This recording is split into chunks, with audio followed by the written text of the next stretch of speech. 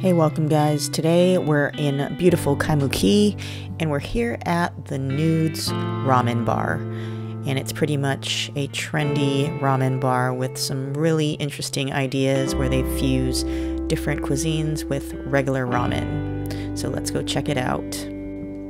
So this is their menu with all their different offerings. If it's too fast for you, you can pause it to read each item and the price.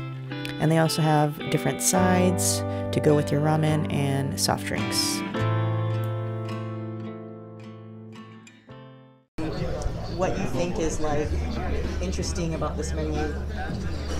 What's interesting about this menu? I mean, it's pretty basic ramen, but they, they do a little twist to it. Like, for example, this this birria ramen. The, the whole big thing right now is birria tacos because here in Hawaii they haven't had anything birria.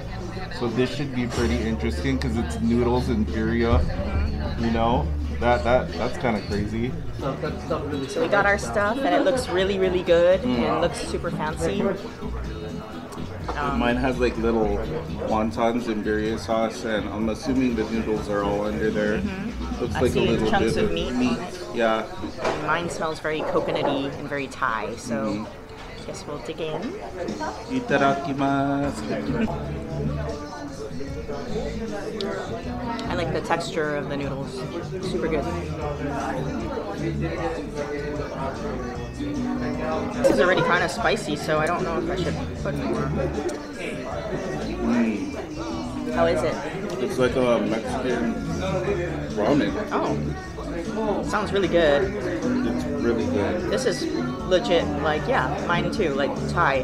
Thai flavors, Super tender. like a birria should be. Yeah. Wow, it's like a a really long braised beef stew. That's birria. The beef is super tender, super good. Super beefy flavors. I love it.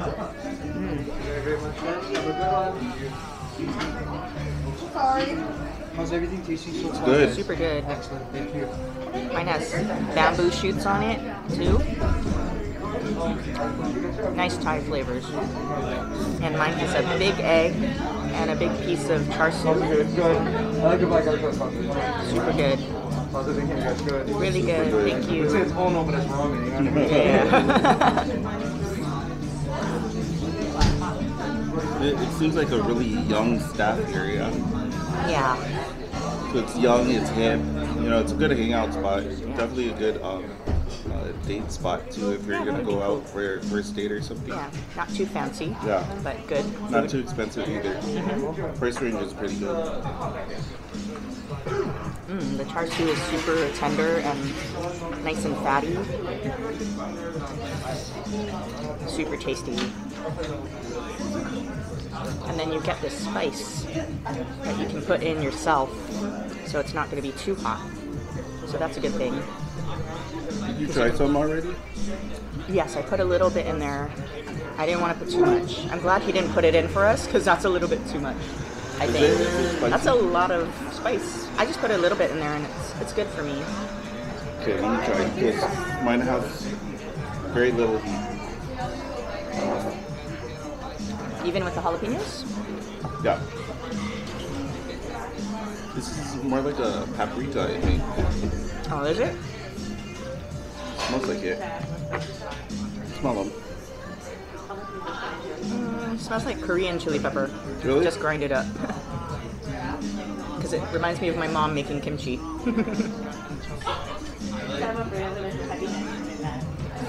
Okay, let's try. Cause I like the spice. I like how they tied everything in with a little wonton strips, but they're um, tortilla, deep fried tortillas. so it reminds me of the taco. Yeah. It's like definitely a dissected taco for sure. I think the best thing too is um, food comes out fast. We didn't we didn't even have to wait that long. It was literally like less than five minutes. Yeah. So I'm gonna try out their gyoza. I got their garlic one. Hmm. Tastes like regular good gyoza, but it's got that crunchy garlic chips on it and like some chili oil. Super good. You should try some. Okay.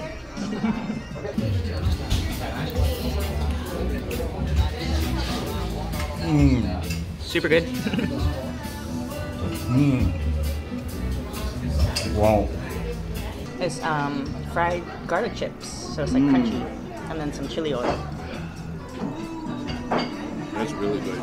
Super garlicky. I love it. Yeah. I'm glad I got that instead of just the regular gyoza. Because I think the regular doesn't come with the I garlic mean, you chips and you had one gyoza, you've had them all. That's really good. This is really good. I'm glad we found this place. Yeah. We were originally gonna go somewhere else. We were searching and searching for different places, and we stumbled up- upon this place. This is a good choice.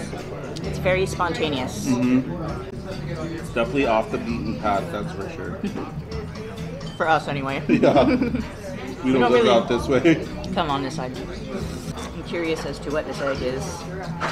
Because they had quail eggs too on the menu. I wonder if it's a quail egg. Because it's got a funky color. It's like hmm. purple. Hmm. And it's bigger too, yeah. Usually quail eggs Interesting. are a little Yeah, bit they're little. I'm not sure what kind of egg it is, but it's got an interesting hmm. inside. Maybe it's pigeon. Please no. if it is a pigeon egg, then it's probably a a la carte pigeon egg. Okay. So, all your choices are gonna come on the side. I like this little hook too. Look, so your spoon never falls in the bowl. Isn't that mm. cute? Very ingenious. Simple things, right? Because I do hate when my spoon keeps falling in the bowl Right. and gets all wet. I wasn't too sure on getting this because sometimes it can either be really bad or really good, but I'm glad I got it. The Thai curry ramen. Because sometimes it sounds good in your mind, but it doesn't come out good. But it really does have good Thai flavors. I haven't tried birria here yet in Hawaii. I've tried it on the mainland. Mm-hmm. And this is pretty close to what I remember. Oh, cool. Yeah. It's like all the rage right now here in Hawaii, either birria or ube everything, you know? So I was like, why not? I gotta try it. It's a good idea. To put it with I'm ramen. definitely not disappointed for sure. Looks really good. This is really good. And super filling too. This, bowl, usually I could eat a lot more, but this is a good amount right here. I'm, I'm getting pretty I'm full. satisfied right now. And I'm almost done. The onions are still crunchy, but they're not tannic. You know how when you cut fresh onion, it's a little, Like, There's bite. strong. um, it kind of cooks down a little bit, but they're still crunchy, so it's really good. I'm done.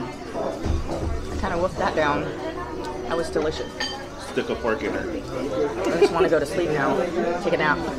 She has to. A nap attack. She gotta wake up early. Yeah. Old lady status. I'm an early bird.